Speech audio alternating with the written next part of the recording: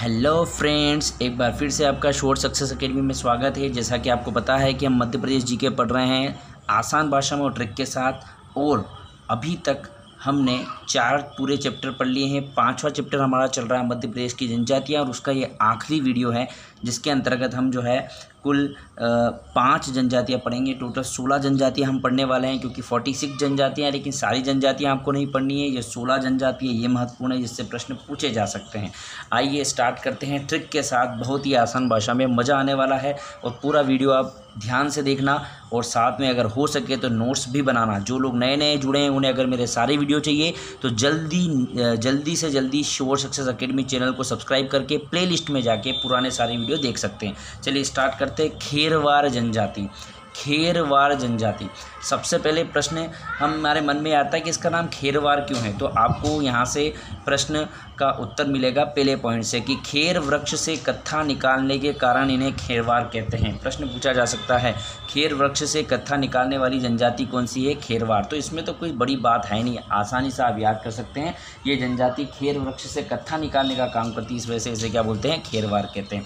पहला पॉइंट बिना किसी ट्रिक के आपको नाम से याद हो गया। याद करना है उपजातियाँ। उपजातियाँ बड़ी खतरनाक है इसकी।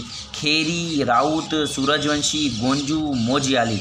अब याद कैसे होंगे? टेंशन की कोई बात नहीं। जावेद सर है ना? बढ़िया से ट्रिक आपको बताएँगे, आपको याद हो जाएगा। देखिए, खेरी, खेरवार से खेरी, ये तो वैसे ही याद हो गया। और अगर खेरवार से खेरी भी याद नहीं हो रहा है तो कोई दिक्कत नहीं है। ट्रिक सुनेंगे, ये आसानी से याद होगा देखिए, खेरी, राउत, खेरी, खैरियत कर दो इसे। खैरियत, है ना? बोलते ना, आप कैसे हैं? मैं खैरियत से हूँ, है ना? मैं सही सलामत हूँ, है ना? मैं अपनी जगह सही सलामत हूँ या खैरियत से हूँ। तो खैरियत से ऊँट राउट में क्या करूँ? ऊँट। ये रा को छुपा लो, क्या हो गया? ऊँट। खैरियत से ऊँट पे सूरज सूरज ने बंसी बजाई। आ हाँ मज़ा आया कि नहीं आया? जल्दी से बता दो। खेरी खेरी इसकी उपजाति है? तो खेरियत से राउत राउत को राह हटा के ऊँट ले लो। खेरियत से ऊँट पे बैठ के सूरज ने बंसी बजाई। और क्या किया? गोंजू, गांजा पिया, गोंजू, गांजा पिया। और मोजियाली मौज की। मौज करते ना, मौज मस्ती करते हैं तो गांजा पीने वाला था उसने, गांजा पिया और मौज की। समझ में आ रहा है? जल्दी से बताइए। और पसंद आ रहा है तो साथ के साथ पूरा वीडियो देखने से पहले ही लाइक ज़रूर कर देना यार, है ना? मेरी गुरु दक्षिणा समझ के। वापस से सुनो, खेर। खेरवार जनजाति खेर वृक्ष कत्था निकालती इस से खेरवार कहते हैं, उपजातियाँ हैं। इसकी उपजातियाँ कौन सी तो आप बताएँगे, खेरी है। खेरियत से ऊँट पे, खेरियत से ऊँट पे सूरज ने बैठ के बंसी बजाई, गांजा पिया और मौज की। ठीक है, आगे बात करते हैं। इसे एक और नाम से जाना जाता है कोंदार। कोंदार नाम से भी जाना जाता है। कहाँ पे जाना जाता है? पन्ना और छतरपुर में। कहाँ पे जाना जाता है? पन्ना और छतुर पे। ठीक है तो छत पे कौन था? छत पे कोंदा छत पे कौन था? छतरपुर, पन्ना कोंदार प्रश्न पूछा जाएगा कि बताइए खेरवाड़ जनजाति को कोंदार जनजाति किन ज़िले में कहा जाता है? तो पन्ना और छतरपुर। तो इसकी ट्रिक क्या है? छत पे कौन था? कोंदा ठीक है, एक और महत्वपूर्ण जानकारी खेरवार स्त्रियाँ जादू टोना करने में दक्ष होती है। खेरवार खेर वार वार करना, इन्हें क्या होता है? आक्रमण करना। खेर वार खेर वार वार करती हैं स्त्रियाँ। जादू टोना जादू टोना से वार करती है। बड़ी खतरनाक है यार।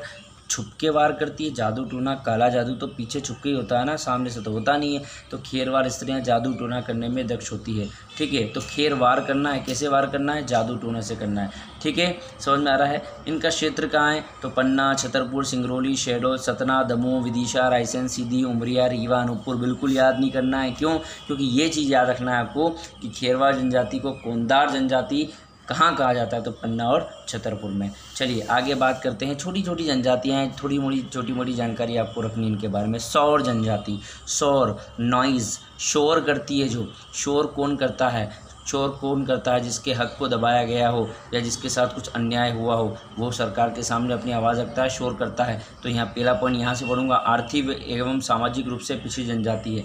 आर्थिक पैसा भी नहीं है बेचारी के पास। सामाजिक सामाजिक की बात करें तो समाज में इसका स्थान भी नहीं है, इसका प्रतिनिधित्व भी नहीं है। तो चिल्लाएगी, हमें आरक्षण दो, हमें ये दो, हमें नौकरी दो, हमें फलाना दो, हमें ढिंका दो। तो आर्थिक, सामाजिक रूप से पिछड़ी इसलिए क्या कर रही है? शोर कर रही है। और शोर कौन करता है? इनका देवता कौन है? भवानी देवता है। भवानी को क्या कहते हैं? दूल्हा देव। दूल्हा भी तो शोर करता है। लड़की के यहाँ जाता है, शोर करता है कि नहीं? बारात लेके जाता है, मेरा ध्यान नहीं रखा, मुझे ये नहीं दिया, मुझे वो नहीं दिया। दुनिया भर के नाटक करता है तो शोर कौन करता है, दूल्हा करता है। अब चलो इसी को दूल्हे को पकड़ के चलते हैं। दूल्हा अगर शोर करेगा तो किसी ने राय दी? राय दी? राय दी कि इसको पन्ना दिया आपने? हाँ बहुत बढ़िया। तभी तो दूल्हा बनना है। पन्ना दिया? तो इसका जो मोह है, वो वैसे ही ख़त्म हो गया। पन्ना दिया इसको, अब कभी नहीं बोलेगा। अब कभी शोर नहीं करेगा। शादी करने के बाद कभी कोई शोर करता है क्या? नहीं करता। पूरा बेचारा भीगी बिल्ली हो जाता है। ठीक है तो शोर कर रहा है ये दूल्हा तो दूल्हा बना दिया। राय दी किसी ने कि पन्ना दो इसे। मोह है इसको, बहुत शोर कर रहा है सारा इतरा रहा है, हैं? ज़्यादा एक्टिंग कर रहा है, ज़्यादा सच समझ रहा है है ना? इसकी तो हालतें ख़राब कर दो। मोह ज़्यादा है ना, इसको पन्ना दो। किसी ने राय दे दी। फिर ये टिक भी नहीं पाएगा छत पे। अपने घर पे भी नहीं टिकेगा। ज़्यादा सामने बोलता ना, ये शादी होगी, कुछ दिन रहेगा, फिर गायब हो जाएगा। घर पे आना ही इसको अच्छा नहीं लगेगा। ठीक है? तो याद हो गया आपको? चलिए आगे बात करते हैं। अगली जनजाति हमारी धानुक जनजाति। धानुक जनजाति में आपको दो तीन पॉइंट याद रखना है, वो क्या रखना है? इसकी उत्पत्ति हुई है धानुष के शब्द से, संस्कृत भाषा के धानुष के शब्द से हुई है, जिसका अर्थ है धनुष रखने वाला। धानुक, धनुष धानुक, धनुष, कौन सी भाषा का? संस्कृत भाषा का। याद हो गया? अच्छा एक चीज़ और याद रखना। अब धनुष रखता है। एक चीज़ और यहाँ रखिए। इसमें सामान्यतः बाल्यावस्था में विवाह हो जाता है। कम उम्र में शादी हो जाती है। कम उम्र में शादी होना गलत बात है। सरकार इसकी इजाज़त नहीं देती नुकसान भी होता है इससे। और कम उम्र में धनुष रखना, बंदूक रखना, हथियार रखना, ये भी गैरकानूनी है। दोनों ही गैरकानूनी का मतलब धनुक वाली काम, गैरकानूनी काम हो रहा है है ना? धनुष रखना, धनुष रखने वाली जनजाति और बाल्यावस्था युवा दोनों गैरकानूनी काम। रही है काम होते कहाँ हैं? गैरकानूनी जगह, भिंड, मुरैना, झाबुआ, रतलाम, इंदौर, ये जगह ऐसी है जहाँ पे अपराध ज़्यादा है। भिंड मुरैना है ना? भिंड मुरैना श्योपुर तो चंबल संभाग में आता है, जहाँ पे आपको वैसे पता है कि एक तरीके से ये जो है बागियों का गढ़ कहा जाता है, सारे छठे हुए डाकू यहीं पे मिलेंगे आपको, है ना? आगे बात करते हैं। बिंझावर जनजाति, बिंझावर बिंझावर। अब देखिए, अपभ्रंश है, जैसे हॉस्पिटल है ना, हॉस्पिटल एक शब्द है अंग्रेज़ी भाषा का, लेकिन अस्पताल कोई शब्द नहीं है तो अपभ्रंश हो गया, बिगाड़ हो गया। हाँ बिगाड़ हो गया बार बार बोला, हॉस्पिटल हॉस्पिटल हॉस्पिटल हॉस्पिटल, अस्पताल हो गया। उसी प्रकार से बिंझावर को जनजाति नहीं थी, ये भी अपभ्रंश है, किसका है? देखते हैं किसका है। विंध्याचल पर्वत के मूल निवासी होने के कारण जनजाति का नाम बिंझावर पड़ा। विंध्याचल पर्वत के आसपास रहती थी जनजाति। विंध्याचल विंध्याचल विंध्याचल, लोगों को बोलना नहीं आया और बारह बजा दी इसकी और क्या हो गया? है बिंझावर हो गया बिंझावर है ना तो याद रखना बिंझावर विंध्याचल पर्वत के मूल निवासी के कारण इसका नाम हुआ है। अच्छा एक चीज़ और है कि इसकी मातृभाषा छत्तीसगढ़ी है। इसकी मदर टंग जो है, जैसे हमारी मातृभाषा हिंदी है तो इसी प्रकार से छत्तीसगढ़ की एक भाषा है छत्तीसगढ़ी। तो किस जनजाति की भाषा छत्तीसगढ़ी ये पूछा जा सकता है तो आप बताएँगे बिंजावर। और वहाँ पे एक क्रांतिकारी, ये महान क्रांतिकारी छत्तीसगढ़ के वीर नारायण सिंह, इनका संबंध इस जनजाति से है। तो प्रश्न पूछा जा सकता है कि छत्तीसगढ़ के महान क्रांतिकारी वीर नारायण सिंह का जन्म किस जनजाति से है तो आप बताएँगे बिंजावर। याद करता, कितना कितना से बिंजावर, ब और वीर, ब, व, एक ही हो रहा है, ठीक है? चलिए, आखिरी जनजाति देखते हैं हमारी मबासी मबासी जनजाति, है ना? ये जनजातियों की हमारी सबसे आखिरी जनजाति है मबासी जनजाति। तो मवाज जनजाति के बारे में बात करते हैं कि ये कहाँ की है तो आप बताएँगे मवाज जनजाति छिंदवाड़ा की है। और अब मुझे याद करिए, अगर मेरे आपने सारे वीडियो देखिए तो मवासी जनजाति के बारे में मैंने पहले ही बताया। बिल्कुल, पहले वीडियो में। मध्य प्रदेश की किन जनजाति, ऐसी कौन सी जनजाति जिसका शब्दकोश तैयार किया जा चुका है, डिक्शनरी तैयार की जा चुकी है? मबासी जनजाति और कोल जनजाति की उपजन उपजन उपजाति है है ना? ये भी आपको याद है। तो ये हमारी कुल सोलह जनजातियाँ थी जो हमने पढ़ी। कुछ कम कम जानकारी इनके बारे में, इससे ज़्यादा आपको याद रखना नहीं है।